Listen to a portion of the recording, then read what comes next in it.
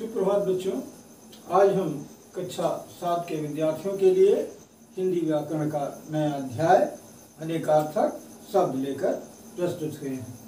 अनेकार्थक जैसा कि नाम से ही प्रतीत हो रहा है, अनेक अर्थ रखने वाला।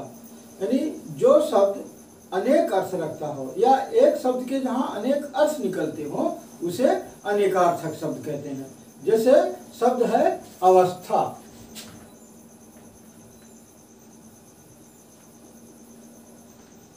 अब अवस्था का एक अर्थ निकलता है आयु। दूसरा अर्थ निकलता है दशा। और तीसरा अर्थ है स्थिति। तो यहाँ एक शब्द है अवस्था। और इसके अनेक अर्थ निकलते हैं, जैसे आयु, दशा, स्थिति। इसी को अनेकार्थक शब्द कहते हैं। आइए अब अनेकार्थक शब्द की हम परिभाषा देख लेते हैं। तो अनेकार्थक शब्द की परिभाषा इस प्रकार है बच्चों। एक से अधिक अर्थ रखने वाले शब्द अनेकार्थक शब्द कहलाते हैं, जैसे अंग। अंग का एक अर्थ हुआ अंश, और दूसरा अर्थ है शरीर। दूसरा उदाहरण देखते हैं, पत्र। पत्र माने पत्ता, चिट्ठी,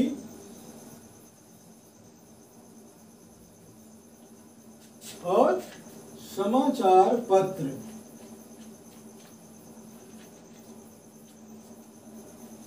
तो अंग शब्द के अनेक अर्थ हैं, जैसे अंश और शरीर। इसी तरह पत्र के भी अनेक अर्थ निकलते हैं, जैसे पत्ता चिट्ठी, समाचार, पत्र। तो ये अनेकार्थक शब्द हैं। आगे कुछ अन्य प्रमुख अनेकार्थक शब्दों को देखते हैं। अंक। अंक का अनेकार्थक शब्द है। गोद। संख्या। और नाटक का एक भाग दूसरा शब्द है अंतर। इसका अनेकार्थक है भेद भीतर। अगला शब्द है अवस्था, आयु।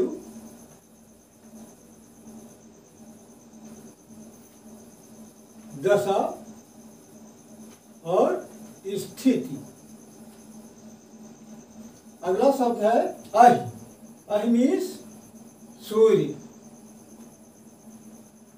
अहि का अनेकार्थक शब्द है सूर्य दिन आम अगला शब्द है आम आम का अनेक अर्थक शब्द है खाया जाने वाला एक फल और दूसरा अर्थ है साधारण। अगला शब्द है कुल। कुल का अनेकार्थक शब्द है वंश। पूरा।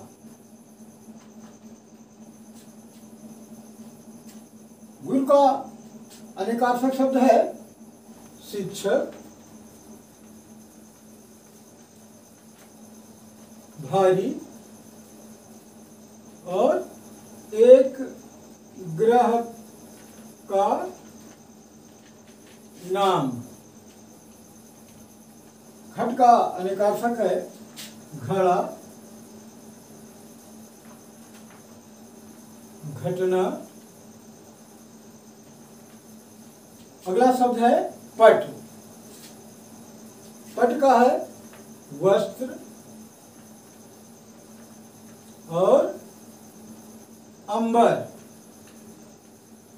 अगला शब्द है पय। पय का अनेकार्थक शब्द है जल। और पय का अनेकार्थक दूध। तो इस तरह पय का अनेकार्थक है जल और दूध। अगला है बाल।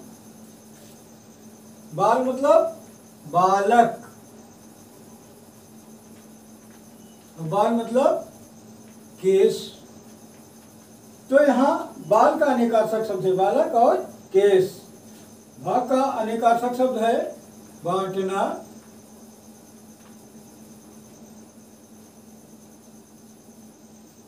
हिस्सा और दौड़। हर हर का अनेकार्थक है हरि माने विष्णु हरि माने बंदर और हरि माने कृष्ण भी है। अगला है मधु। मधु का एकार्थक शब्द है शहद।